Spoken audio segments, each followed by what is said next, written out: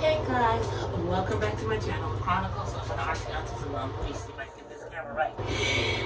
welcome back to my channel. Please like, share, and subscribe to my channel.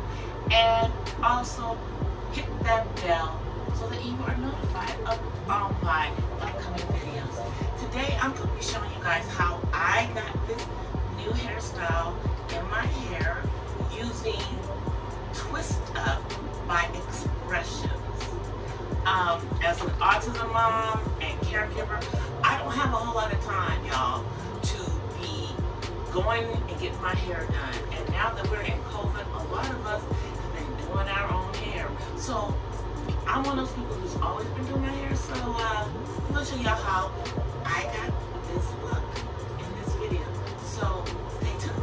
I'll be right back. Bye. The hair that I use for this hairstyle is the Twisted Up Hair by X-Pressions. It is springy Afro Twist 16 inch and each pack has three bundles in it.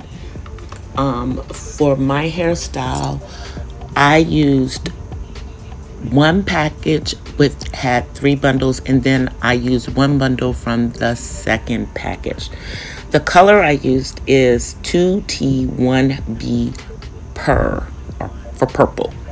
I like this hair because um, it was really kinky and curly and you may need to use more or less than I used but um, I think two packages should be enough for one full set of hair.